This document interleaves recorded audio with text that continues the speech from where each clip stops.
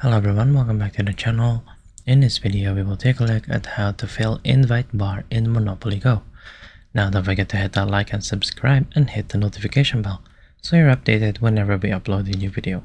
Stick until the very end so you don't miss a single detail.